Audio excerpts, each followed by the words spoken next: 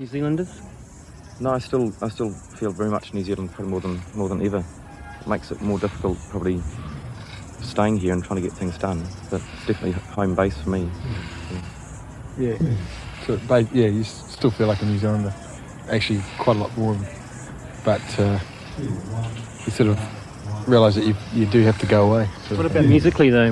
Do you think you might have had a, a complex about coming from Dunedin, the bottom of the world, and then going to Europe?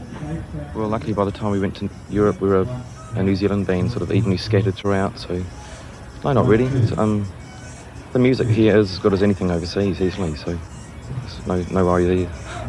Well, how about your attitude to the music industry? Has that changed since travelling?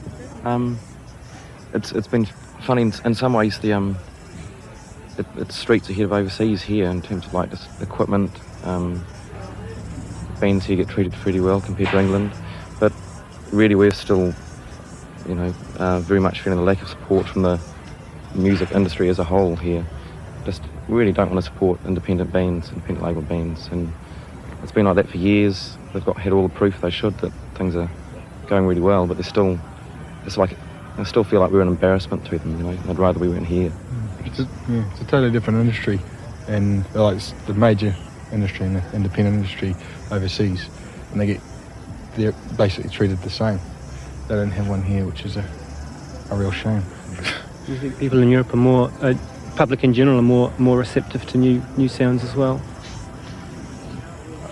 Well, there, there's definitely a big market there because obviously the population, and that market's really well catered for, with you know fanzines and papers and, and record labels. Lots of lots of little independent record labels that do a lot of work, but you know it's a population thing again.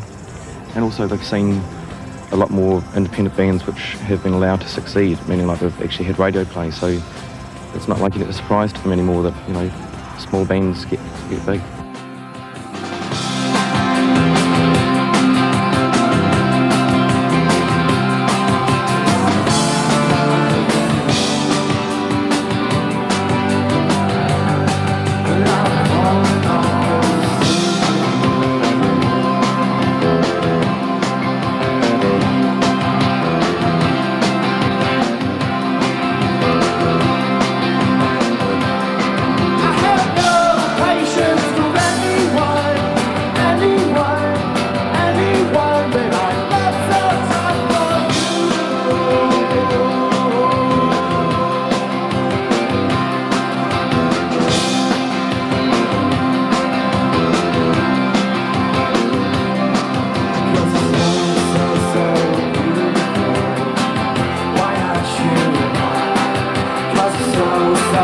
know you.